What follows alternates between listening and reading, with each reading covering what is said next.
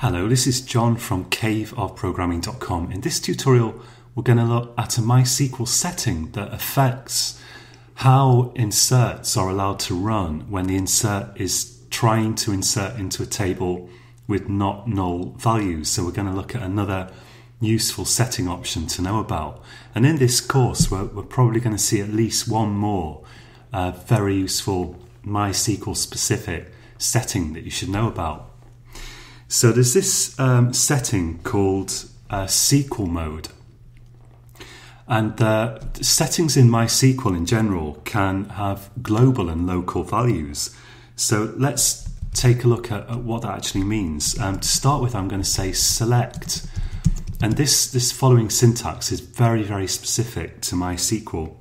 So it's, it's not a general SQL thing, but I'm going to type two kind of um, uh, at signs and let's put in here global dot SQL underscore mode. So if we take a look at the value of this, we see it's set to strict all tables. So if you want to read about what this actually does, and I will explain um, in just a moment, excuse me, then we can search, uh, let's say in Google, for MySQL SQL underscore mode. And in the first document that's linked to here, you get the MySQL documentation page. And there you can see various ways of setting this SQL mode, and you can see the most important SQL modes um, and just general various things you can set it to. You can also see how to set it, how to set this value in your configuration file to set it sort of permanently so we'll take a look at what this actually does in a minute and we'll see that it can affect how our queries run. But I also want to mention that there is also a session SQL mode. So let's take a look at that.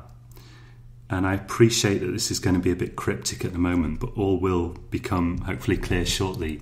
So let's say two at signs and a session dot SQL mode. So we can run this select statement with multiple values as long as they're separated by commas. And if we run this, we find that my global and SQL, um, uh, global and session SQL modes are actually set to different values. And that's just because I've been playing around with it a bit. So when I when I installed MySQL, the default for both of them was no engine substitution. Uh, now, the, the global version of, of any setting in general, that's, that's going to set the value for any connection that's made to the server. So if someone else connected to the server or you, you ran an app that also connected to the server in addition to this MySQL workbench, if you've set the global mode, that's going to affect these other connections as well. Whereas if you set the session mode, that's only going to affect this particular session in other words, it's going to affect this connection that you've made now. And if you drop the connection in the workbench and start it again, then the session SQL mode is going to default back to the global SQL mode. So there are sessions here, but there are also global values that you can set for any connection that's made to your server. If you restart the server, you're going to lose both of these and they're going to default either to the default values or to whatever you set in the config file. So if you want to set a variable like one of these permanently, you need to set that in the config file. So this will be SQL mode equals such and such. So what actually are these values? Uh, so the session SQL mode is the one that's it's actually going to affect this session, and I've got it set to no engine substitution, which was the default when I ran MySQL.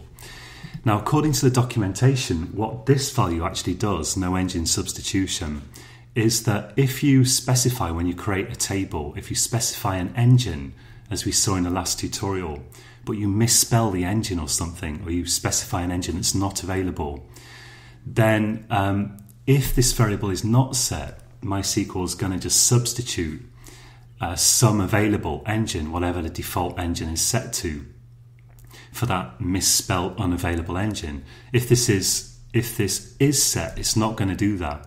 So if you specify an engine that doesn't exist, then um, it's not going to substitute it with some default value. So if we do, for example, create, let's um, get rid of this and say create table test1 id int engine equals some gobbledygook, if no engine substitution is set, then it's not going to execute that query. Now, the one uh, what we're really interested in here is setting a mode called uh, strict all tables, and let, us see what effect that actually has. So, if I um, I've got let's let's go to use tutorial one. I'm already using this database, but I just want to show you from the beginning in case, in case it's confusing without. So we're going to say use the tutorial one database. I'm going to say show tables. These are commands that I do use a lot. And we see we've got this users table in here. I don't actually need this test table. So I'm just going to do drop uh, table test while I think about it. And now if we do show tables, the test table will have disappeared and we've just got users. Let's do desc users. And we can see that we created this table so that both of the fields can't be null. Now, um, with the default setting, at least the default setting I got when I installed MySQL out the box, and th- this is something that you, you should try for yourself. If we do insert into users, insert into our table, we only specify one column in there, so we, we don't specify all of the columns that are not null. And then we say values, uh, let's specify for this just 9 or something, and we run this. We look at the query. It has actually run, but with a warning. And so if we do select star from users, we see that we've inserted that row and MySQL has inserted a default value for username which for a string type, a text type, is an empty blank string. So it's, it's not null, but MySQL has made up a value for it, which is the default value. Now, that may be the behavior you want, and in this tutorial, I'm going to just carry on like that. I'm going to stick with this option because I want to try to use the settings that you most likely got out of the box. And this is how my version of MySQL came to me when I just installed it this time around. But sometimes you might want to change that. You might want to say, okay, if I've got not null values in my table, values that can't be null, if someone tries to do an insert on that table and they don't specify a value for the not null columns, for all of the not null columns, then um, the, this, the query should fail. You might want to say that rather than let MySQL make up a default value for it. And if you want to do that, you can change the SQL mode. So we could do, for example, set, let's say global set, well, let's, session is maybe the most useful. Let's say set session SQL mode equals, and we could set it to um, some value in here, and you can see the most important values in the MySQL document. But uh, an easy way to do this, which sets both the local and global values of a setting at the same time, in this case the SQL mode setting, is just to say set SQL underscore mode equals, and I'm going to set this to, let's set it to strict all tables. Well, I'm using single quotes here, but in SQL it doesn't matter, so I could just use double quotes and it should be fine. Let's run this and we see that the query, uh, not, not so much a query, but the statement ran successfully. And now let's do select. In fact, I'll just um, bring up this query that I used previously. So we'll look at the global and session values of this SQL mode variable. And we see they've both been set to strict all, strict all tables. If I now try to insert into a table and I don't specify a value for one or more of the columns that are not allowed to be null. Let's try this with the value 10 for ID, and I, I won't give a value for username, which is not null. Let's run this. Now we see that it gives an error. And although errors don't seem like a good thing, sometimes that's what you want. If you have a program that's executing SQL statements, uh, it can be really bad if they run silently, but they and they appear to succeed, but they don't actually do what you want. So if you run a SQL statement in your program, it's good practice to check somehow that that hasn't um, run and created an error. And the same applies kind of if you run um, uh, a SQL statement by hand, like we're doing here, sometimes it can fail silently. You think it's worked, but it hasn't actually done what you want.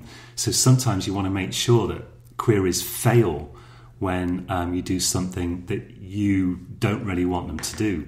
And by setting this SQL mode variable, we've made sure that we have to specify values for all the fields that are specified as not null in our table. So um, it's, it's worth having a go at this yourself. Take a look at your global and local session modes like this. See what they're set to. They should be set to the default, to the, both to the same thing. You know, unless you change one of them, they should be set to both the same thing. And uh, you um, you might want to try changing the SQL mode as I just did. So that's this one to strict all tables and then try to insert into a table as I just did, not specifying a value for a, a not null column and check that it, it does fail if you set strict all tables. But I'm going to set this back to no engine substitution for the purpose of this purposes of this tutorial. Although really if I was running some sort of production database, that actually really mattered, I, I probably would like to turn strict all tables on just to give me a bit of extra uh, sort of error checking.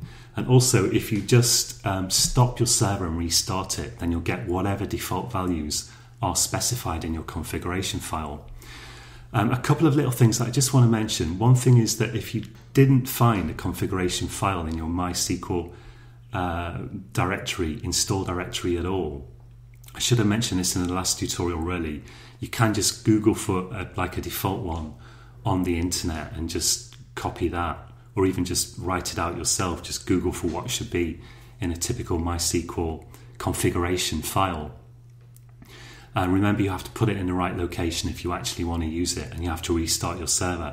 But um, my download of MySQL did include a dummy uh, sort of default um, configuration file my.cnf or it could be my.ini on Windows. It's just that it wasn't in the right place.